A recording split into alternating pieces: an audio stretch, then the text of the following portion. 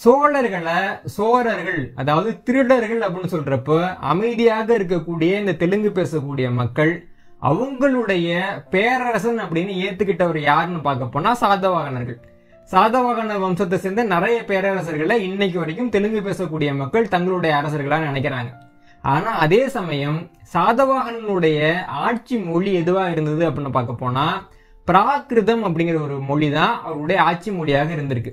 சாதவாகனனுடைய நாணயத்துல என்ன மொழி இருக்கு அப்படின்னு நம்ம பார்க்க போனோம்னா இந்த நாணயங்கள்ல பிராகிருதம் ஒரு பக்கம் காணப்படுது பண்டைய தமிழ் எழுத்தான தமிழி எழுத்து இன்னொரு பக்கம் காணப்படுது தெலுங்கு எழுத்துக்கு அந்த நாணயத்துல எந்த ஒரு இடமுமே இல்லை. ஆங்கிலேயர்கள் ஆட்சி இந்தியாவில் இருந்தப்போ கூட ஆங்கிலேயர்கள் வெளியிட்ட பொதுவான நாணயங்கள்ல தெலுங்கு மொழிக்கு இடம் இருந்தது. ஆனா தெலுங்கு பேசக்கூடிய மக்கள் தங்களுக்கு பிடித்த அரசர்கள் எங்களோட முதல் அரசர்கள்னு சொல்லக்கூடிய சாதவானர்கள் காசுல தெலுங்கு இல்ல ஆனா தமிழ் இருந்திருக்கு. இதற்கு என்ன ஆதாரம் அப்படின்னு கேட்டீங்கன்னா இப்ப நீங்க பாத்துக்கிட்டு இருக்க சாதவாகனர் வெள்ளி காசோட முன்பக்கத்துல அரசனோட உருவம் இருக்கு. அந்த அரச உருவத்தை சுத்தி பிராகிருத மொழியில ராஞ்சோ வசிடி புத்தச ஸ்ரீ சாத கணிச அப்படின்னு இருக்கு. இந்த நாணயத்தோட பின்பக்கத்துல பல்வேறு சின்னங்களை சுத்தி தமிழி எழுத்துல அரசனகு வாசிட்டி மகனகு திரு சாதகணிக்கு அப்படின்னு இருக்கு. இத நாம அரசனுக்கு வசிட்டி மகன் திரு சாதகணிக்கு அப்படின்னு படிக்க முடியும். இந்த நாணயத்தை பாத்தீங்கன்னா கிபி நூத்தி பதினாறாவது ஆண்டிலிருந்து நூத்தி நாற்பத்தி ஐந்தாவது ஆண்டுக்குள்ள வெளியிடப்பட்ட நாணயம் அப்படின்னு ஆய்வாளர்களால குறிப்பிடப்பட்டிருக்கு. இந்த ஒரு நாணயம் இல்லாம இன்னும் ஆறு வகையான வெள்ளி நாணயங்கள் ஆந்திராவில் கிடைக்குது. இந்த ஆறு வகையான வெள்ளி நாணயங்கள்லையுமே தமிழ் எழுத்து காணப்படுது. ஒரு உதாரணத்துக்கு என்னுடைய சொந்த சேகரிப்புல இருக்கக்கூடிய ரெண்டு நாணயங்களை இங்க நான் கொடுக்குறேன்.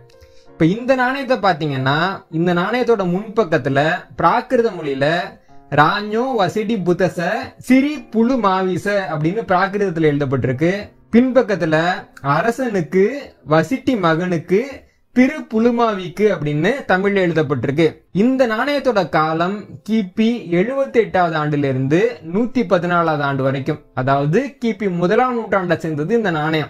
இப்ப நீங்க பாத்துக்கிட்டு இருக்க இந்த மூணாவது காசுல அரசனோட உருவத்தை சுத்தி ராஞ்சோ கௌதமி புத்திச ஸ்ரீ யக்ஞ சதகணிச அப்படின்னு பிராகிருதத்துல எழுதப்பட்டிருக்கு. பின்பக்கத்துல அரசனுக்கு கௌதமி புத்தக்கு திரு யக்ஞ சதகனிக்குன்னு தமிழி எழுத்துக்கள்ல எழுதப்பட்டிருக்கு.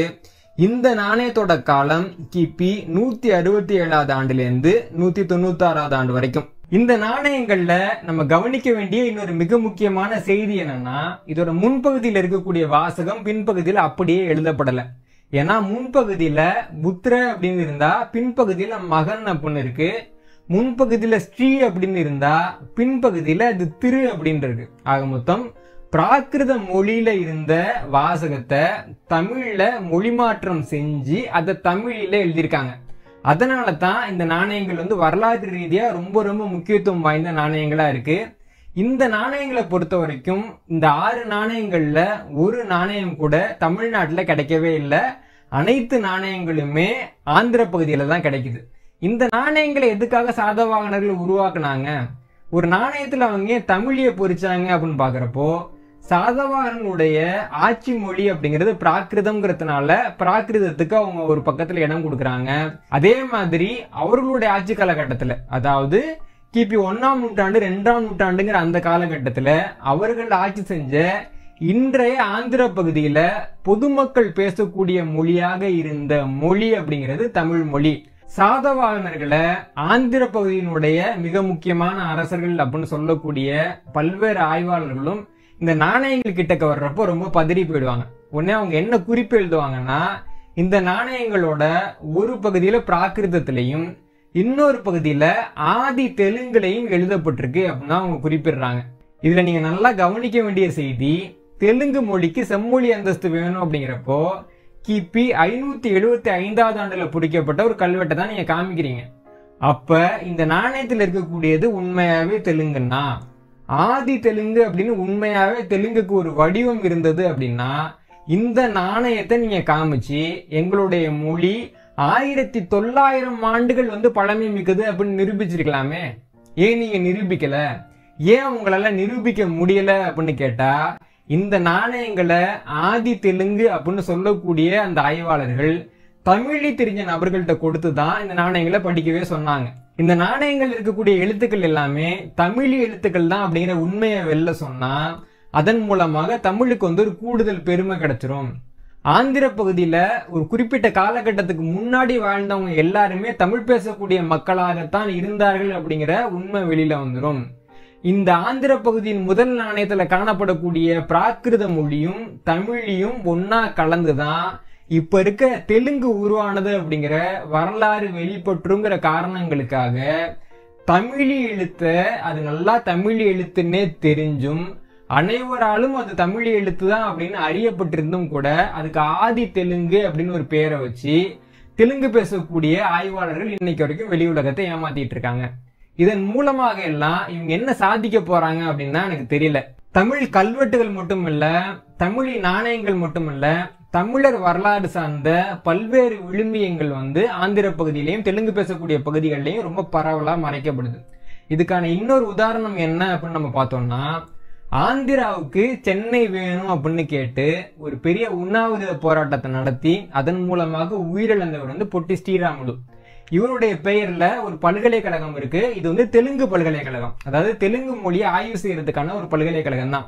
இந்த பல்கலைக்கழகத்துல தெலுங்கு மொழியினுடைய இலக்கணம் வந்து எப்படி மாறுச்சு எப்படி தோன்றுச்சு அப்படின்னு ஆய்வு பண்றப்போ தமிழின் முதுபெரும் நூலான தொல்காப்பியத்தை அடிப்படையாக வச்சுதான் அந்த இடத்துல ஆய்வுகள் நடக்குது.